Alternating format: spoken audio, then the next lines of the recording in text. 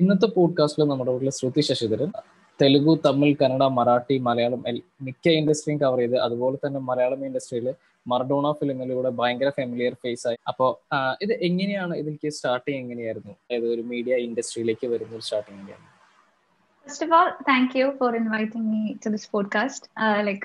It was good was you, Nitin.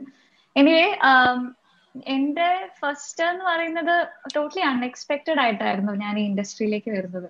I was working ഒരു സ്റ്റാർട്ടപ്പിൽ work ചെയ്യായിരുന്നു ഞാൻ എന്റെ എഞ്ചിനീയറിംഗ് കഴിഞ്ഞിട്ട് and I plans on like you know doing higher studies അപ്പം പക്ഷേ എന്താ പറയാ നമ്മൾ ആ വർക്ക് ചെയ്യുമ്പോൾ നമുക്ക് എന്താണ് നമുക്ക് മിസ് ചെയ്യുന്നത് നമുക്ക് കറക്റ്റ് ആയിട്ട് മനസ്സിലാവുമല്ലോ.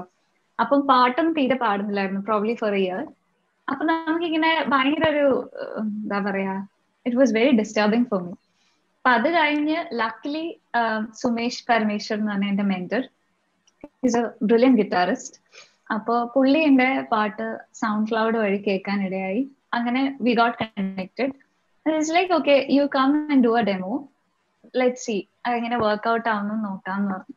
അപ്പൊ ഞാൻ എന്റെ അച്ഛനെ കുറിച്ച് പെട്ടെന്ന് എന്താ പറയാ റെക്കോർഡിങ്ങിന് പോയി. അതുവരെ I never done recording before so അത് ഭയങ്കര ഒരു എക്സൈറ്റ്മെന്റും ഉണ്ട് പേടിയുണ്ട്.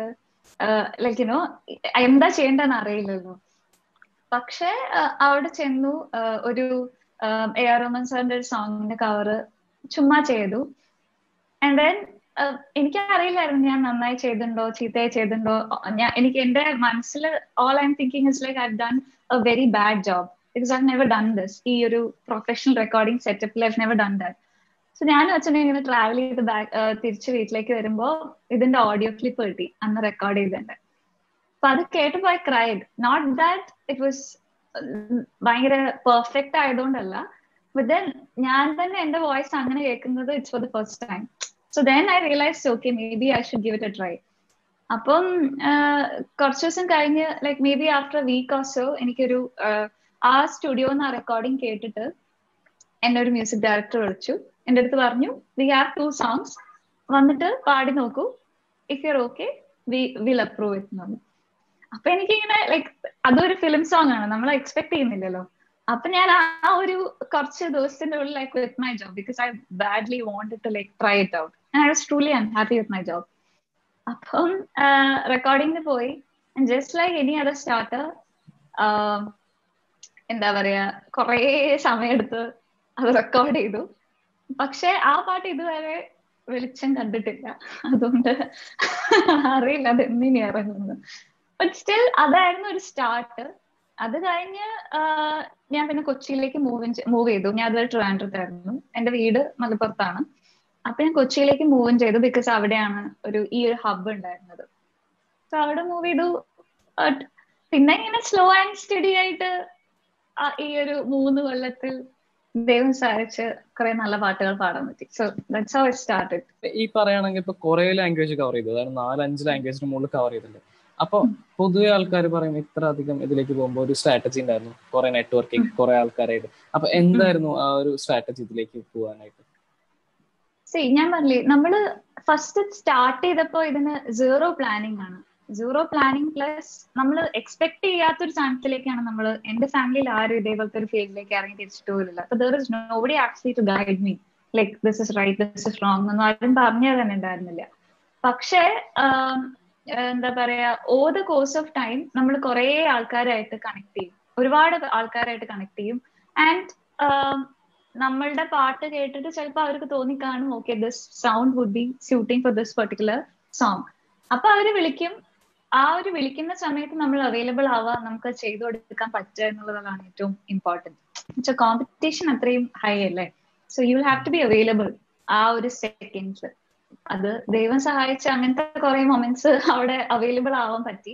അതുകൊണ്ട് എന്താ പറയാ അങ്ങനെ ഡിഫറെന്റ് ലാംഗ്വേജസിൽ പാടാൻ പറ്റി. പക്ഷെ പാടുന്നതിനെക്കാട്ടിലും കൂടുതൽ എനിക്ക് തോന്നുന്നു എന്നെ കൂടുതൽ ഹെൽപ്പ് ചെയ്തിട്ടുള്ളത് ആ പെർട്ടിക്കുലർ ലാംഗ്വേജസിലുള്ള കുറെ ലിറിസിസ്റ്റർ കുറെ friends like even Kannada Punjabi അതൊക്കെ എന്ന് പറയുന്നത് നമുക്ക് ക്ലൂലെസ് ആണ്. എനിക്കൊന്നും അറിയില്ലായിരുന്നു.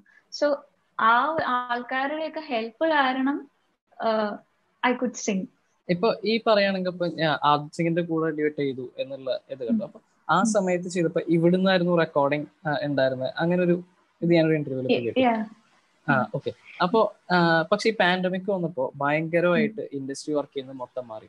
അത് എങ്ങനെയാണ് ഇപ്പോ എങ്ങനെയാണ് നിങ്ങളുടെ വർക്ക് മാറുന്നത് സോ ഈവൻ ബിഫോർ ഞാൻ പാൻഡമിക് തുടങ്ങുന്നതിന് മുന്നേ തന്നെ ഞാൻ വർക്ക് ചെയ്ത ലാംഗ്വേജസ് കൂടുതലും കന്നഡ ഹിന്ദി അങ്ങനത്തെ ലാംഗ്വേജസ് തെലുങ്ക് ഒക്കെ ആയിരുന്നു കൂടുതൽ റെക്കോർഡ് ചെയ്തിരുന്നത് അപ്പം പ്രാക്ടിക്കാലിറ്റി ഇഷ്യൂസ് കാരണം I use to record most of it from Cochin ചിലപ്പോ ഞാൻ ബാംഗ്ലൂർ പോവും അല്ലെങ്കിൽ മുംബൈ പോവും റെക്കോർഡ് ചെയ്യാനായിട്ട്.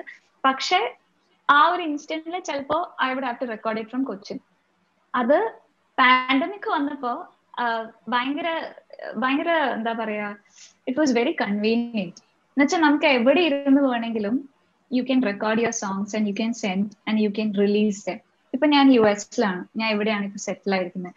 പക്ഷെ പാൻഡമിക് കാരണം എല്ലാവർക്കും ആ റിയലൈസേഷൻ വന്നു. ലൈക്ക് ഇതോ you can record from anywhere and do your songs do your music അത് ഇറ്റ്സ് ഇറ്റ്സ് നോട്ട് എ എന്താ പറയാ ഒരു എക്സ്ക്യൂസ് ആയിട്ട് ഇനി നമുക്ക് എടുക്കാൻ പറ്റില്ല. That you are somewhere else എന്നുള്ളത് ഐ തിങ്ക് ആ പാൻഡമിക് കാരണം എല്ലാവർക്കും അങ്ങനത്തെ റിയലൈസേഷൻ വന്നു. So that's a good thing പക്ഷെ ഒബ്വിയസ്ലി കുറെ നമുക്കിപ്പോ ഇൻഡസ്ട്രിയിലാണെങ്കിലും ഒരുപാട് മൂവീസ് ഇറങ്ങാതെ വന്നു. കുറെ എണ്ണം കുറെ ഇഷ്യൂസ് വന്നു. But at least in one year ഒരു അത് ശരിയാവും എന്നാണ് എനിക്ക് തോന്നുന്നത്.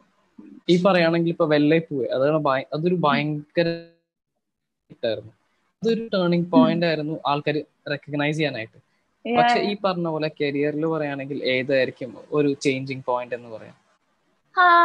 കരിയറിൽ ചേഞ്ചിങ് പോയിന്റ് എന്ന് പറയുകയാണെങ്കിൽ I think it must be Maradona എന്ന് വെച്ച് കഴിഞ്ഞാൽ അണ്ടിൽ ദെൻ ആർക്കും എന്നെ അറിയില്ലായിരുന്നു. ഈ പാട്ട് അപ്പൊ ഇന്ന കുട്ടിയാണെന്ന് ആരും ശ്രദ്ധിക്കുന്ന പോലും ഇല്ലായിരുന്നു. പക്ഷെ മറഡോണ ഭയങ്കര ഹിറ്റായി കഴിഞ്ഞപ്പോ അറ്റ്ലീസ്റ്റ് കുറച്ച് ആൾക്കാരെങ്കിലും ഓക്കെ ഇന്ന വോയിസ് ആണ് ഇന്ന ഇത് ഈ കുട്ടി പാടിയത് ഈ പാട്ടും ഉണ്ട് എന്നൊക്കെ റിയലൈസ് ചെയ്യാൻ തുടങ്ങിയത് എനിക്ക് തോന്നുന്നു മറഡോണ കഴിഞ്ഞിട്ടായിരിക്കും. ഈവൻ ആൾക്കാരെ റെക്കഗ്നൈസ് റെക്കഗ്നൈസ് ചെയ്യാൻ തുടങ്ങിയത് Maradona കഴിഞ്ഞിട്ടായിരിക്കും. So I would say Maradona would be a deal breaker ഈ പറഞ്ഞ പോലെ ആൾക്കാർ അറിയാൻ തുടങ്ങി. അത് കഴിഞ്ഞിട്ടാണ് ഈ പറഞ്ഞ പോലെ ആദിത് സിംഗിന്റെ ഇത് വന്നത്. അപ്പൊ എങ്ങനെയായിരുന്നു? അതായത് ആ ഒരു ട്രാൻസിഷൻ എങ്ങനെയുണ്ടായത് ട്രാൻസിഷൻ ഒന്നും ഇല്ലായിരുന്നു. എന്ന് വെച്ചാൽ പാടുമ്പോ എനിക്ക് അറിയില്ലായിരുന്നു സിംഗ് സിംഗ് വിത്ത് അർജിത് സിംഗ്. എനിക്ക് ഒരു ക്ലൂ ഇല്ലായിരുന്നു. പാടി കൊടുത്തു. അതിന്റെ music director is a very good friend of my Mannan Shah എന്നുണ്ട് അപ്പൊ ഞാൻ പാടി കൊടുത്തു. പാടി കൊടുത്തു കഴിഞ്ഞ് maybe after three or four months എന്റെ അടുത്ത് പറഞ്ഞു that you know probably Arijit is gonna sing this with you പക്ഷെ അപ്പോഴും എനിക്ക് നല്ല ഒരു കൺഫ്യൂഷൻ ആണ് ദാറ്റ് ഞാൻ എന്റെ പാട്ട് അതിൽ അപ്രൂവ് ആവോ ഇല്ലയോ എന്ന് ഒരു കൺഫ്യൂഷനിൽ നിൽക്കുകയാണ് അണ്ടിൽ പാട്ട് ഇറങ്ങുന്നവരെ നമുക്ക് അറിയില്ലല്ലോ ഒരു ഷുവർട്ടി ഇല്ലല്ലോ. പക്ഷെ luckily it happen and you know it's been really good അതൊരു എനിക്ക് തോന്നുന്നു ഏതൊരു എന്റെ ഒരു ഭയങ്കര ഡ്രീം ആയിരിക്കും. ഏതൊരു സിംഗറിന്റെയും ഈ ഒരു കാലഘട്ടത്തിലുള്ള ഒരു ഡ്രീം ആയിരിക്കും. അർജിത് സിംഗിന്റെ കൂടെ പാടുക ഈ പറഞ്ഞിട്ടുള്ള ബോളിവുഡ് പ്രൊജക്ട്സ് ഇനി അപ്കമിങ് പ്രൊജക്ട്സ് ഏതാ വരുന്നത്? മലയാളം വരുന്നുണ്ടോ അതോ ഇനി? മലയാളവും ഹിന്ദിയും കന്നഡയാണ് ഇനി അപ്കമിങ് ആയിട്ടുള്ള ഉള്ളത്. പക്ഷെ കോവിഡ് എനിക്ക് പറയാൻ I not at liberty to അപ്പൊ ലെറ്റ്സ് ഹോപ്പ് സോ പെട്ടെന്ന് തന്നെ എല്ലാം റിലീസ് ചെയ്യാൻ പറ്റും. ലാസ്റ്റത്തെ ഒരു എന്ന് പറയുകയാണെങ്കിൽ ഇപ്പോ ആസ്പയർ ചെയ്യുന്ന ആൾക്കാർ അതായത് കുറെ പേര് നോക്കുന്നുണ്ടാവും എങ്ങനെ ഈ ഒരു ഫീൽഡിലേക്ക് വരാനായിട്ട്.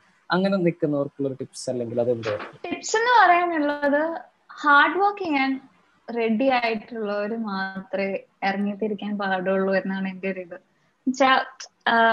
It's not easy it's definitely not easy probably start ചെയ്യുന്ന സമയത്ത് you have to work really hard ചിലപ്പോ ഒരു ഒരു മാസം ഒരു രണ്ട് വർക്ക് ഒക്കെ കിട്ടുന്നുണ്ടാവുള്ളൂ. പക്ഷെ അത് ആ അത് എന്താ പറയാ മൊത്തത്തിൽ നമ്മൾ ഇൻവോൾവ് ചെയ്ത് എടുത്ത് you have to like practise more and more and more and improve yourself so finally ആ ഒരു ഒരു ബ്രേക്ക് കിട്ടുമ്പോൾ ഏറ്റവും നന്നായി അത് ഫുൾ ഓഫ് ചെയ്യാൻ പറ്റണം. സോ അതിനുള്ള ഒരു സ്ട്രെങ്ത് അതിനുള്ള ഒരു വോക്കൽ കപ്പാസിറ്റി ഒക്കെ ഇംപ്രൂവ് ചെയ്യാൻ കോൺസ്റ്റന്റ്ലി നോക്കുക.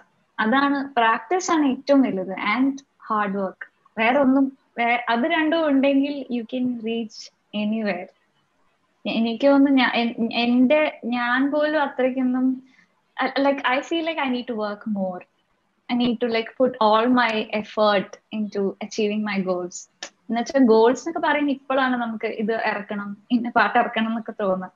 ബട്ട് ദെൻ ആദ്യം നമ്മൾക്ക് നമ്മൾ ഈ ഫീൽഡിലേക്ക് ഇറങ്ങുമ്പോൾ നമ്മൾ ക്ലൂലെസ് ആയതിനെ കൊണ്ട് ലൈക്ക് എന്ത് കിട്ടിയാലും നമ്മൾ ഓക്കെയാണ് ആ പാട്ട് റെക്കോർഡ് ചെയ്യാൻ പറ്റിയ ഓക്കെ മറ്റേ പാട്ട് റെക്കോർഡ് ചെയ്യാൻ പറ്റിയ ഓക്കെ നൗ നമുക്ക് കുറച്ചും കൂടി ഒരു എന്താ പറയാ നമുക്ക് നമ്മുടെ ഇൻഡിവിജ്വൽ സോങ്സ് ഇറക്കണം നമ്മളുടേതായിട്ടുള്ള പാട്ടുകൾ ഇമ്പ്രൂവ് ആക്കണം. ആൾക്കാർ നമ്മൾ റെക്കഗ്നൈസ് ചെയ്തിട്ടില്ലെങ്കിൽ ആ പാട്ട് കേട്ടിട്ട് അയ്യേന്ന് പറയരുത്. അതൊക്കെ നമ്മൾ കുറച്ചും കൂടെ over the course of time ശ്രദ്ധിക്കാൻ തുടങ്ങി. So I feel like you know everybody who's aspiring to be a singer should be really hard working and you know put all their hearts to the music. Nothing else